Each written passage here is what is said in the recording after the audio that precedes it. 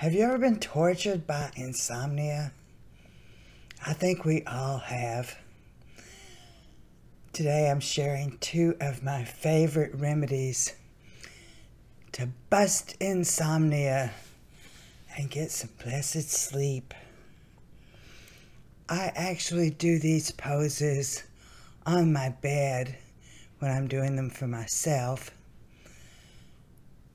You might want to try them on your bed too. Or you can try them on the floor. Grab a pillow if you're not working on your bed so that you can be comfortable. The first one is Viparita Karani or legs up the wall.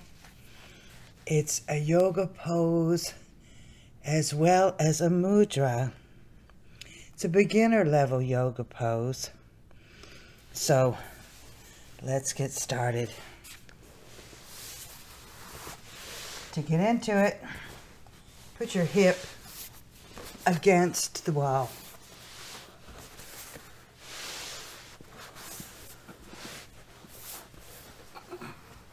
Then turn toward the wall and raise your legs up. You can splay your hands out to your sides palms up. You may prefer to put them over your head like a cactus. Your arms belong wherever you're most relaxed and most comfortable. You can have your hips directly against the wall if you like, or angled away a little bit. If you have issues with your low back, you might want to put a folded blanket under your low back too. But you get in here and it drains all the stale blood out of your legs when we're upright all day long.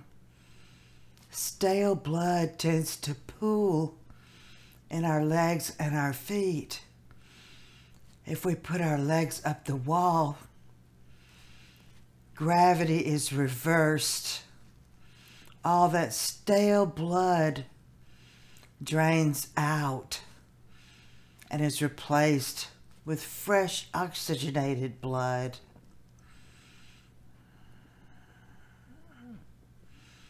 This is also a mudra in case you don't want that deep a dive. I've got a whole blog post about this if you want to know about the the mudra's effects you can read my blog post. But this is a mudra as well as a yoga pose. Stay as long as you like. It's very relaxing very restorative. If your legs begin to tingle or get excessively cold that's your body telling you it's time to release the pose. You can put your feet against the wall.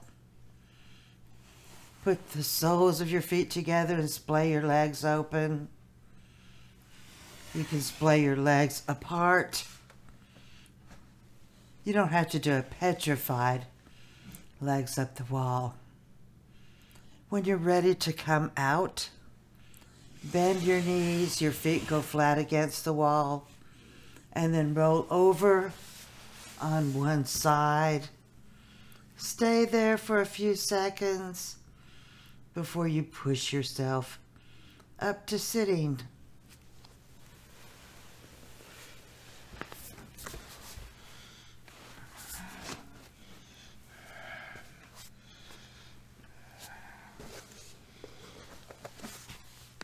We're going to do Balasana or pose of a child and psychic union yoga mudra.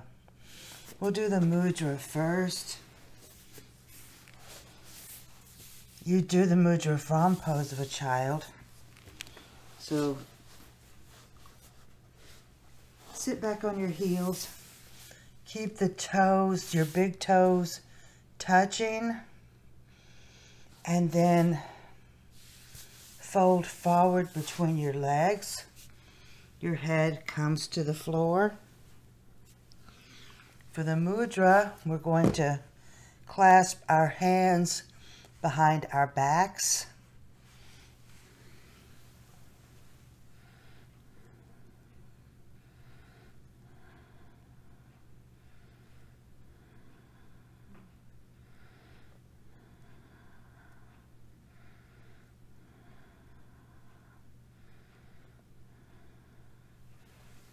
I'm going to come up so that I can talk a little bit about this.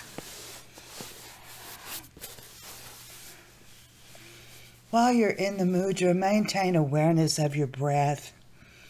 That encourages a smooth flow of prana or vital energy moving up your spine, which facilitates Kundalini awakening. The mudra helps your body achieve an inner state of calm and harmony. And the state of calm and harmony is then redirected toward your sensory organs, relaxing you for sleep. Release your hands when you're ready to come out of Psychic Union Yoga Mudra, and we will move on to supported pose of a child. Pose of a child is one of the most relaxing restorative poses in all of yoga. And when you do a supported pose of a child, it's even more relaxing and more restorative. So,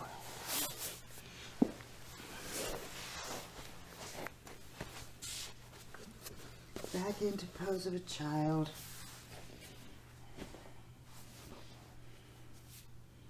I'm going to fold forward,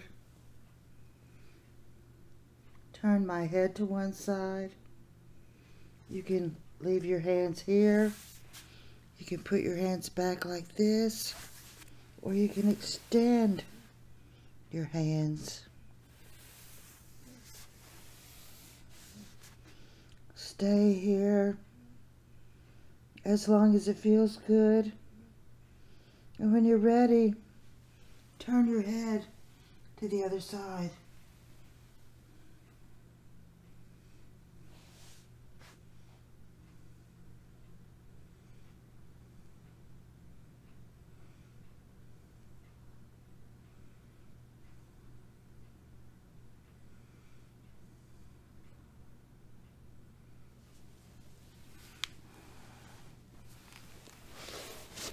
I like to stay in supported pose of a child until the relaxation response spreads throughout my body.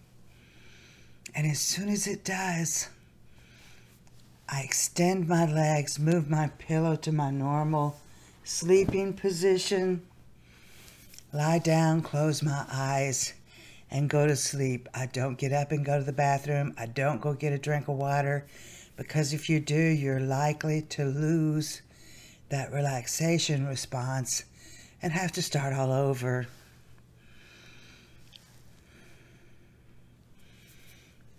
I hope you have sweet dreams tonight. If you have insomnia, drop me a comment and tell me what the source of your stress is. What is worrying you tonight? I'll help you with your struggles with insomnia. Come back next week and I'll be sharing more tricks about busting insomnia when you awake too early or lose your relaxation response after you've done these two remedies. I really don't like to sleep too much myself. There's too many things I'm interested in that I'd rather be doing than sleeping. But we all need our sleep or we get very cranky and irritable and unsexy and undesirable, and nobody wants that. So scoop all this calm and harmony up, pull it down, keep it with you. Namaste.